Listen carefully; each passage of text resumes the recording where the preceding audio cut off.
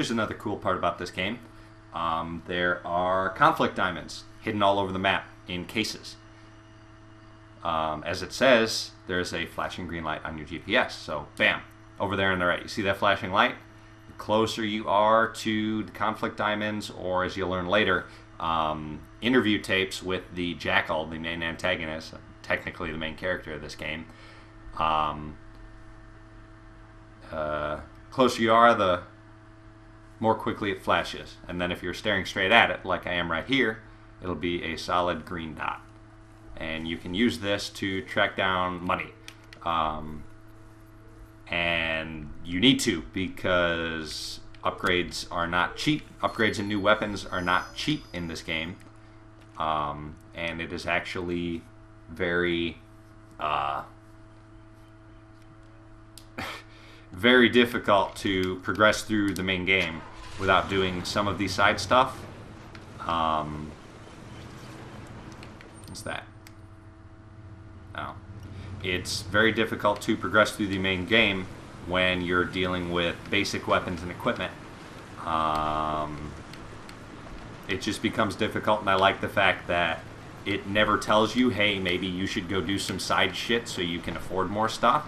It lets the player come to that conclusion on their own by basically being uh, ramping up the difficulty a decent amount.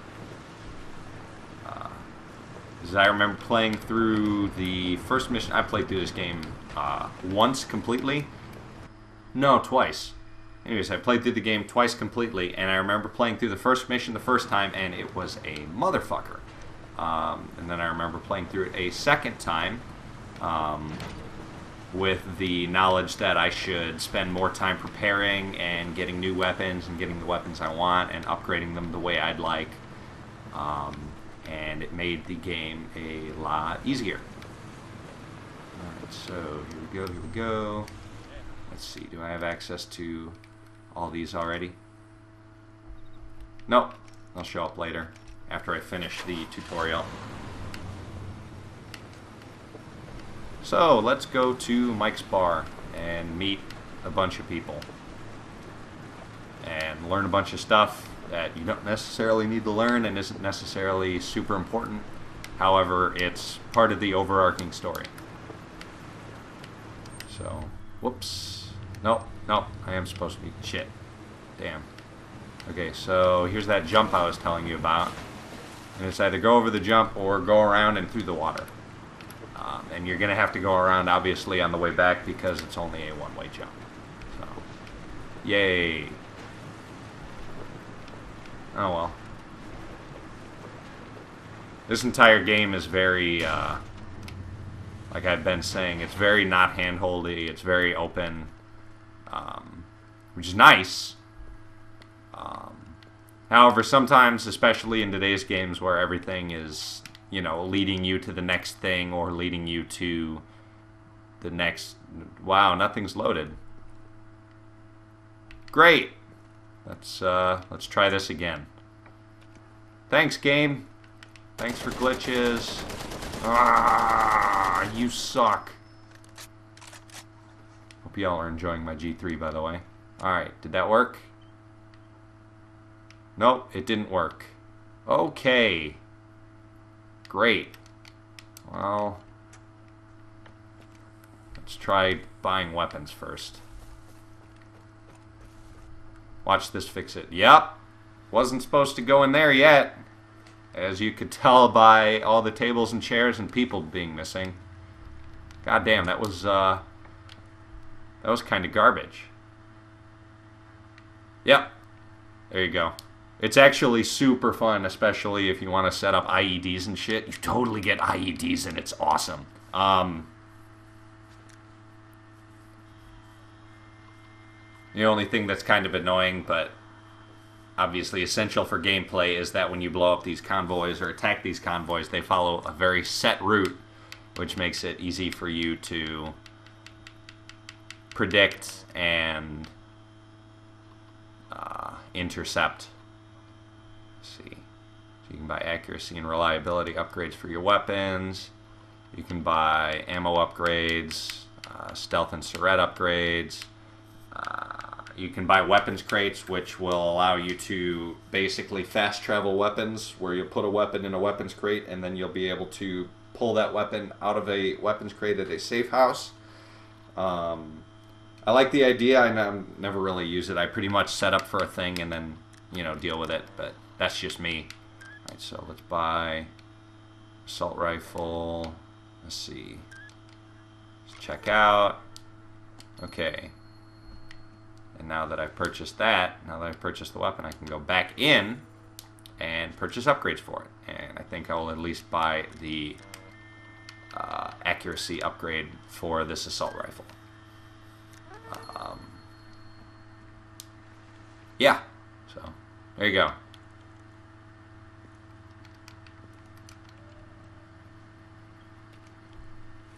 Hope y'all get used to a lot of that too, because I will be unlocking all of the weapons as we go through. So, here you go. Here's my favorite room in the game because you walk in here and it's just like walking into a candy store of possibility. So now that I've got my shiny new weapon, I also happen to have these uh, downloaded weapons. Thank you, Xbox sale. Um, with uh, a bunch of shotguns and crossbows and whatnot. We'll uh, grab this one for now. Let's see, fill up all our ammunition here. Oh, can't grab that one yet. And sweet. Um, in terms of upgrades, you can't like add shit to weapons or anything like that. Like you can't, uh, like I can't attach a scope to this G3. Uh, you know, can't attach a silencer to a pistol or anything like that. Um, you have to purchase weapons that have those already, um, and then the weapon is as the weapon is. Hey, look, we got people now. Yay, we got a video game. Let's go talk to my boy. Yeah, me too, buddy. Yeah, he's my best buddy. I've known him for three seconds. It's awesome. Um, there is a, uh, a reputation system in this game uh, that leads to nothing, as far as I know. And there is a um, friendship system in this game, which I think also leads to nothing. Um, basically, the more you interact with these people or the more crazy bullshit you pull, the higher your reputation gets or the more these people like you. Um, which doesn't really lead to it doesn't lead to any like new opportunities as far as I've ever seen. It doesn't lead to uh, the enemies behaving any different depending on your reputation level. So whether you're completely unknown or you know the pariah of this entire country blowing up everybody everywhere you go, I've never really seen a difference in the way the AI interacts. So um, interesting idea, but kind of wasted overall. These men and their wars are tearing this country apart. Yep. Yep. That it? Okay, cool. Alright. I'm gonna talk to. Hi! Second buddy! You may get side missions from your buddy. Um, really cool, uh, really cool kind of uh, um, revival system, I guess you could call it in this game. Um, if your buddy is ready to uh, help you, this buddy right here, um, if you go down in battle, uh, they will come and pick you up and revive you and assist you, um, which is a cool a cool setup. And I really like the fact that these guys are still they're still NPCs. They still exist. They're not like you know invulnerable, like hide behind the bullet sponge kind of guy. They can die, and you often have to help them because they will soak up bullets in a fight, which is super annoying. Um, and sometimes you just can't save them, and you can put them out of their misery, which is. Uh, I remember the first time it happened, I was like super like what, but it's super cool.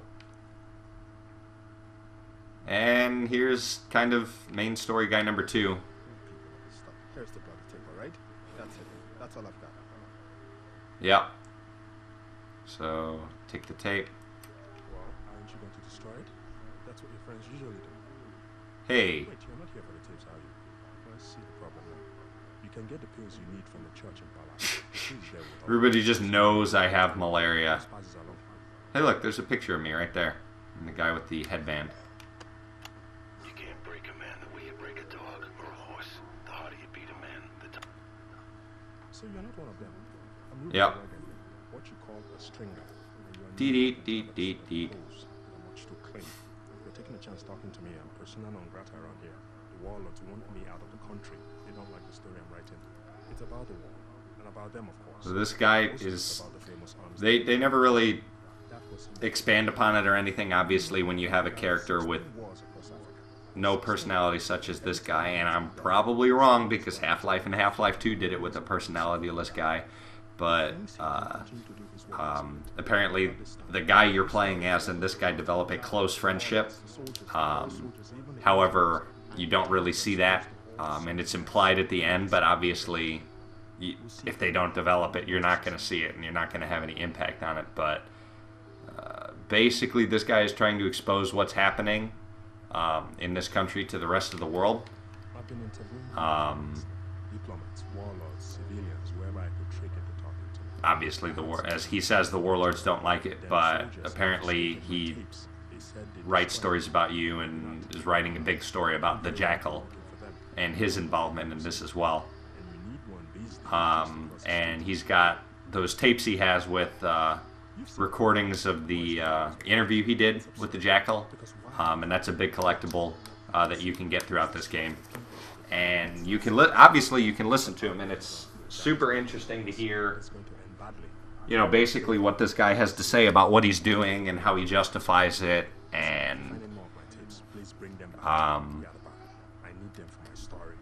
I'll tell you right you know, this is a really cool story of there not being a good guy at any point here, except maybe this guy. So, I mean, your character's not a good guy. He's just out killing people basically for blood diamonds and trying to stop his malaria. Um, the jackal is definitely not a good guy, although he you can kind of sympathize with what he is doing once he explains it. Um, obviously, the warlords are not good people. The people you're killing are not good people. Basically, everybody's out here to do. Was I supposed to go out yet? Let's see. Yep, yep, gotta go see the father. Basically, everybody's out here to. Oh, I love that shotgun. Get what they can out of this country as it self as it self destructs, um, with no regard for the uh, the people that get in the way. Uh, so it becomes a really interesting story of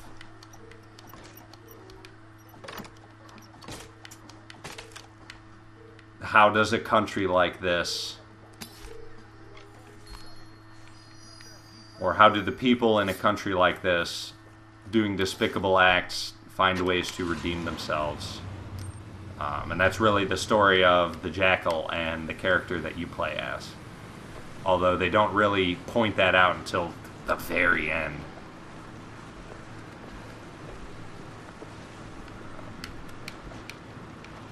Here we go. Boop.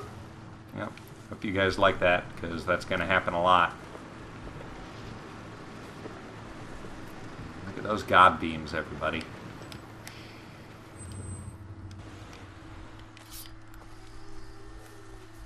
Um, day and night cycle in this game, obviously. Um, it's it's really good.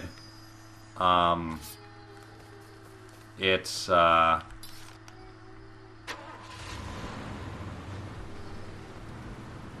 kind of makes the game difficult sometimes. Obviously, you can change time at will, but um,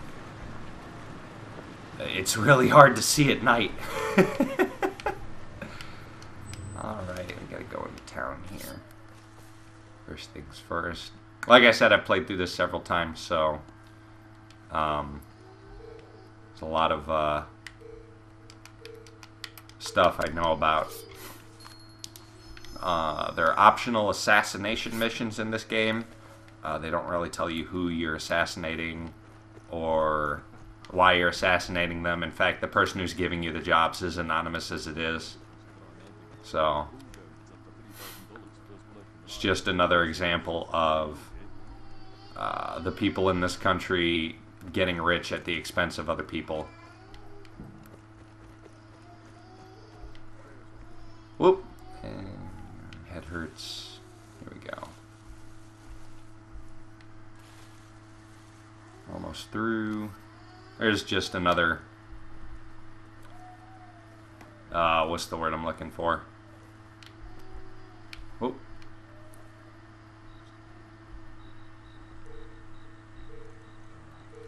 Another bit of money I'm going to collect here. I like the fact that the money in this game is, you know, conflict diamonds, and obviously it makes sense for the setting. Um, obviously, you can never call any first person shooter completely realistic, but the dedication to trying to depict a. Uh,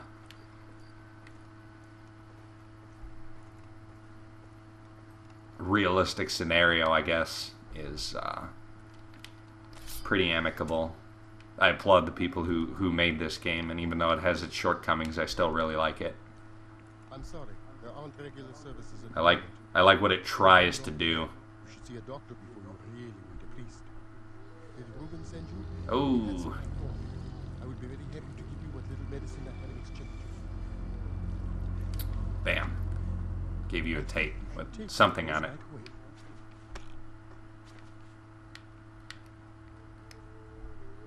Really? God damn it. I go to hit the button and it stops me to give me the tutorial to tell me to hit the button. It's interesting how the malaria flares up randomly and you have to take the pills for it. And obviously, the more flares up and the more you take the pills, the more your malaria comes under control, but you can choose to ignore it. Um, and obviously, it becomes, you know, detrimental to you. But uh, they still give you the option.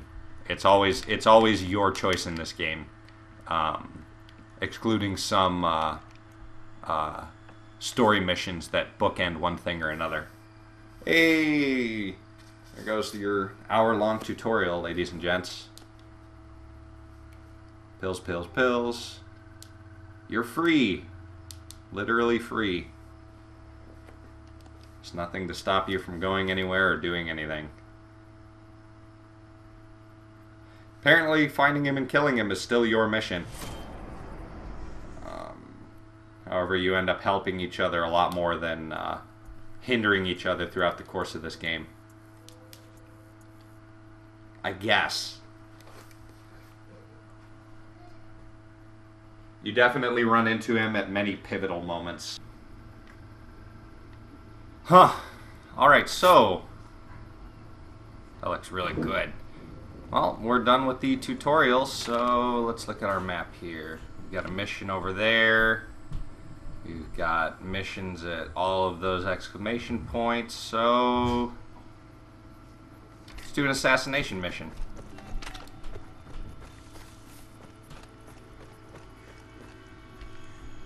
See something really awesome. They uh, get intimidated or they just stand there. Yep, there you go. There you go. Yeah, it took you long enough to notice the guy. easier to put that away. Everybody comes up though, so you gotta be you gotta be careful because if you hold it up long enough, they'll start shooting at you, and that sucks. Because then you have to fight your way out of town. Can't tell you how many times I was bored and sat on the roof of that shack right there, just sniping people in town while they tried to attack me. It was, uh, was fun. Alright, so I need to drive basically straight. Like I said, no, uh, no waypoint system, just the, uh, just the markers. So, here we go. Better memorize the map. The uh, the game itself actually came with a uh, a super cool fold-out map, which uh, you could obviously use alongside the game if uh, that was your thing. And uh, that was actually a really cool. Uh, oh, see this? Yeah. So, who dies first? You die first. That guy's dead. Let's get out. So, now we come to the checkpoint system. Remember when we drove by this one earlier and it was totally clear? Well, now there were guys there. So, in order to clear a checkpoint or a guard post, you have to uh, scout it. Um, scouting it doesn't necessarily mean that it's. This is a new vehicle. This must have come with the DLC. Scouting it does not necessarily mean that it is uh, clear of enemies forever. However, it means you know what's there. So I guess if you're short on something, you can look on the map and see. It looks like I am close to close to a diamond or something. Let's find it. Wait for it to turn green. Oh, it's over here somewhere.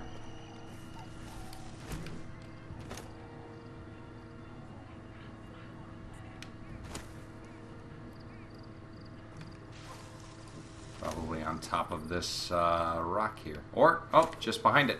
Sweet. Hey, you guys, you like diamonds? I like the diamonds.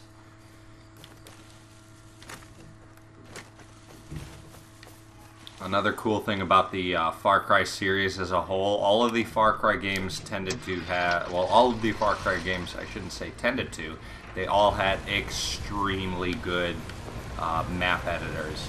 I could put countless hours into editing maps in these uh, games, and I have. Um, obviously, that doesn't mean everybody can play it, but back in the day, it was a ton of fun to gather a group of friends around Far Cry 1 on the Xbox, build a map, and then shoot at each other with it. It was actually a really fun time, and uh, like I said, countless hours gleefully wasted. Alright, so now we are pulling up on a radio tower here. Just jump out.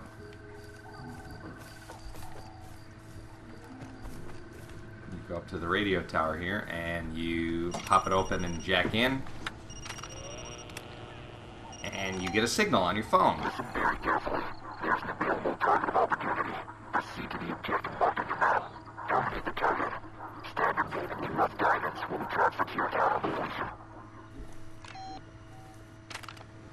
And there you go. You have a side mission. Oh, that hurt. Let's uh, let's take a look at the map and see. So we have to go all the way to the south there. Who's ready for a drive? I actually think that's the uh, that's the airport. So let's go kill a guy at the airport. I wish I had a uh, sniper rifle for this, but uh, fuck it. Let's have some fun. Here we go. I think. Uh, yep. So as you will see, we will drive past a bunch of checkpoints here, and I will attempt to avoid them as best I can, but clearly you can only avoid them so much.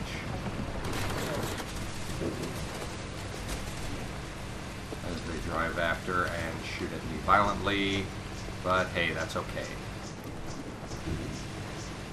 I think they'll stop chasing after a little while. Here's one of the uh, set piece environments I was telling you about. I don't think there will be any enemies in it right now because there's no mission here. Oh, there's enemies. Never mind. Shit. Well, oh, you better get out of here. The game is definitely a lot longer and a lot more action-packed if you clear out every single uh, guard post as you go through it, but uh, I do not want to uh, waste time. Go right here. Oh, and I flipped my car.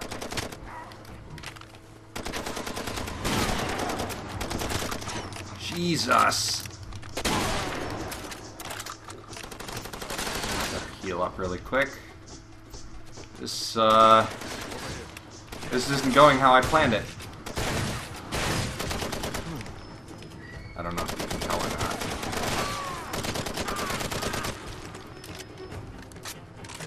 not. These take a lot of rounds to uh, to kill. However, normally they'll be near vehicles, and one grenade or one explosive anything tends to be enough to completely destroy a vehicle. So sometimes it's a lot simpler to just blow up the vehicles.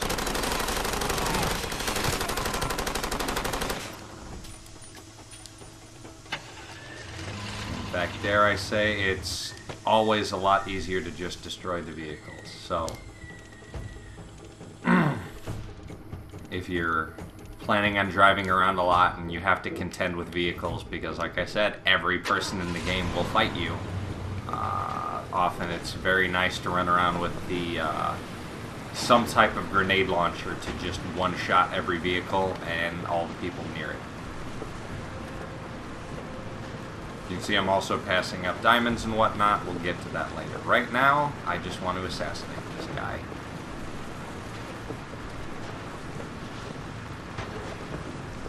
So we could have fast traveled, however, we would have had to drive. Like I said, the fast travel's weird because it's it seems to take as much time as actually driving there. We would have had to travel to the bus stop just short of Pala, the town that uh, the church and everything is in, the only town. Um, so you'd have to drive all the way there. You'd have to go to the bus stop. You would have to take the bus stop to the uh, location that you wanted to fast travel to. Um, and obviously, you know, loading screen there. That's, a, that's another minute and a half of your time. Um, and then you'd be there, and then from there, uh, there's only four locations you can travel to. Actually, five if you include Pala. You can travel to Pala. You can travel to. Um, basically, Pala and the four corners of the map.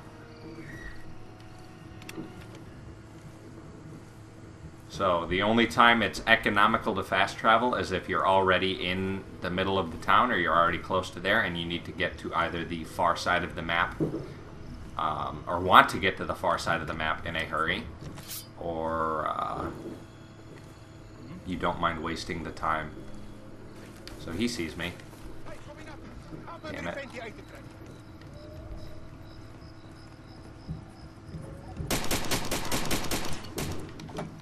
Jesus. Well, probably help if I got around the corner before I started knifing him to death. Alright, and now I have a sniper rifle and ammunition. And if you look at the sniper rifle, the uh, uh, state of it is actually pretty shoddy. Alright, let's, uh, let's scout this out here. The target is clearly in that hangar. Uh, we don't need this. Nobody seems to have noticed the fact that uh, there was a bunch of bullets being fired up here, which is great. I mean, great for me, not for those guys. Now I can, uh, you know, sneak in there.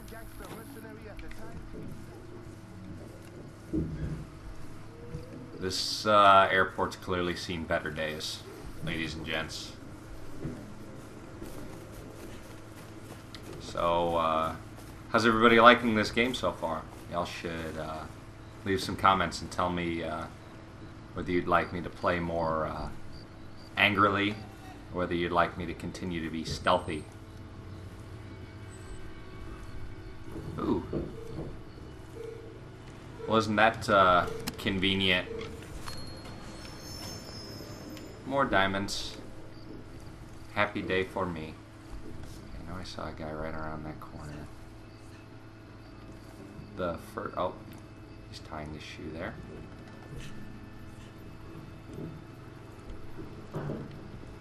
The first Far Cry game and the third Far Cry game had, uh... Oh, he was there. Shit! He just randomly appeared. Damn it. The first and third Far Cry game had rocks you could throw to distract people. Um, also, notice that was clearly just random white businessman, right? Anyways, the first and third games had rocks you could use to distract people, which greatly led or fed into the uh, stealth system. Um, This game still has stealth, it's just a lot more difficult to uh, accomplish. Oop.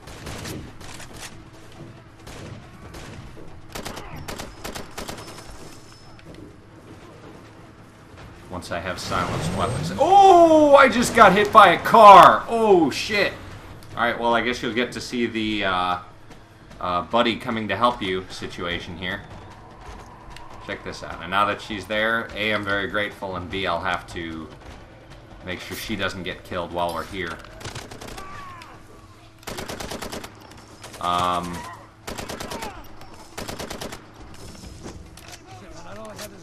the bad things about a semi-realistic game is you don't know where she is thanks to no HUD, and um, uh, when cars hit you, you die. Damn, she's tearing them up. She's not even aiming. That's sick. Well, fuck it. While we're here, I guess we can clear out the whole the whole town. Hoping I don't get hit by another fucking car.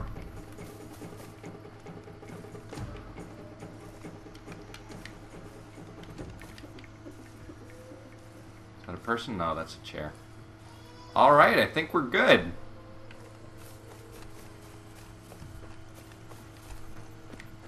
Well, that uh, didn't go exactly as planned, however, it uh, went pretty well.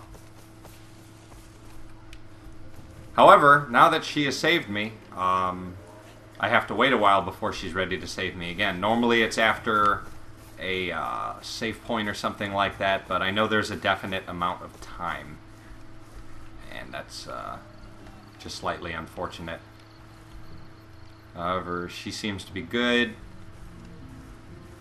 I was always troublesome about uh, this game is you save or somebody saves you and then they're there and if you don't kill everybody and you just leave there is always a very good um, chance I should say I'm gonna unlock that save point there's always a very good chance that um, they get finished off by the enemy you leave behind and then they die and you had no uh, no ability to save them which is uh, unfortunate. Alright, let's see.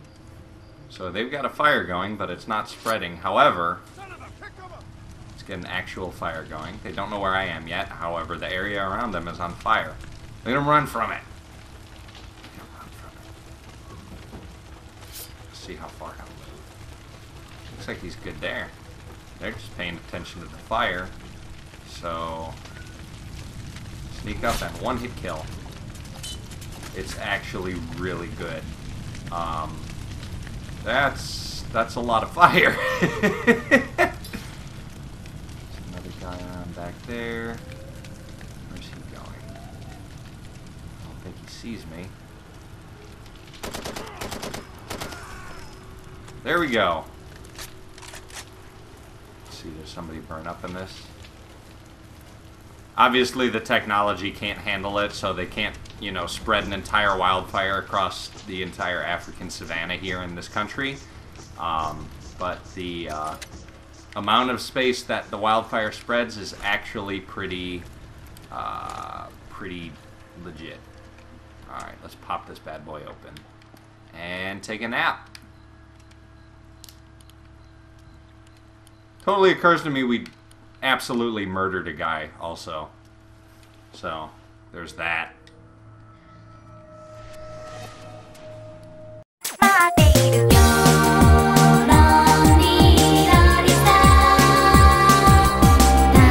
Everyone, thanks for watching. Now please subscribe to my channel.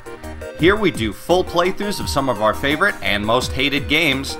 We do cool one-offs like Complete Idiots Play and Spoiler Alert, and every now and then you can catch us on the weekends for some awesome multiplayer games with our best friends the Wonder Pets. I hope you guys like all the new episodes we have coming out every Monday, Wednesday, and Friday.